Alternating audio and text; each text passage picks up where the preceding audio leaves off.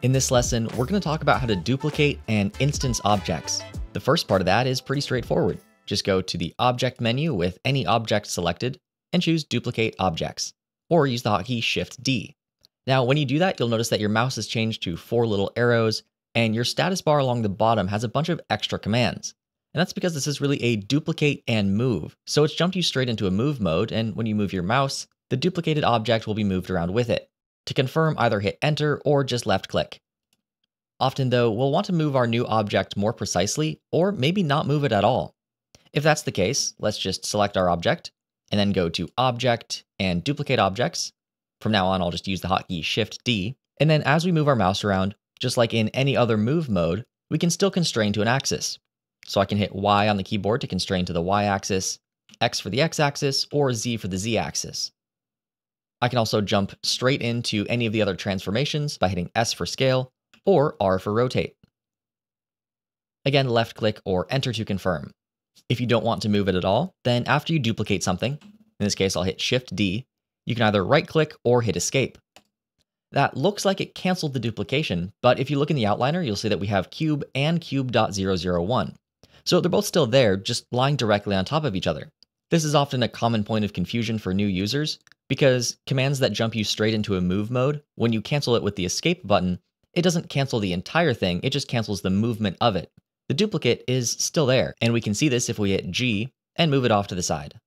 Now, when you duplicate something, it creates a full independent copy. Notice that in the outliner, we have cube and cube.001, and the mesh data in the first one is named cube, and the mesh data in the second is named cube.001. So the mesh data is separate, and if I hit tab to go into edit mode on this second one, I can manipulate these vertices and it won't affect the other. However, if I delete that and instead take our cube here and then go to Object and duplicate linked, or use the hotkey Alt-D, that appears to do the same thing, and I now have a new object called cube.001. But if I expand that, notice how the mesh data is also called cube. It's the same data that's in the cube object as well. So if I were to hit tab to go into edit mode and edit one of these vertices, it'll edit that for all objects that share the same mesh data.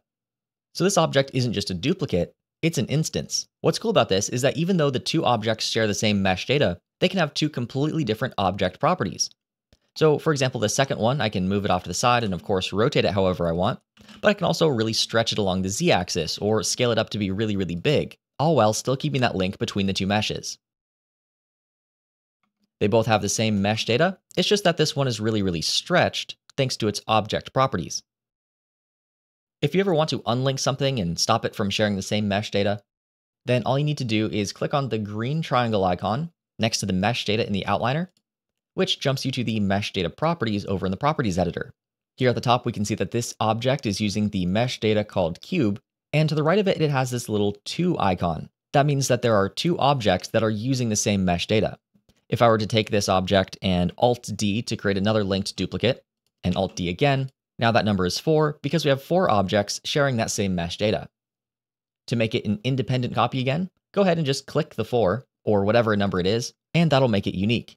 Now I can hit tab to go into edit mode, edit this however I want, and it won't affect the others. But the rest of these are still linked, again until I hit that number icon. Now if you're just getting into 3D, you probably won't need to use instancing right away, but it is good to know that it exists. This works the same with non-mesh objects as well. If I were to select my camera and hit Shift-D to create a duplicate of this camera, then I can change the camera properties without affecting the original.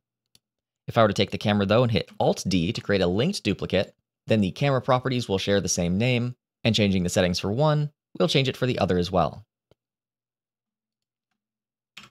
You can also use the duplicate command in edit mode, so I'll take my cube here, hit tab to go into edit mode, and we can duplicate vertices, again with Shift D, or go to the mesh menu and duplicate. We can also duplicate edges by selecting either two vertices that are connected or going into edge select mode and hitting Shift D to duplicate an edge, or we can duplicate faces. Again, Shift D.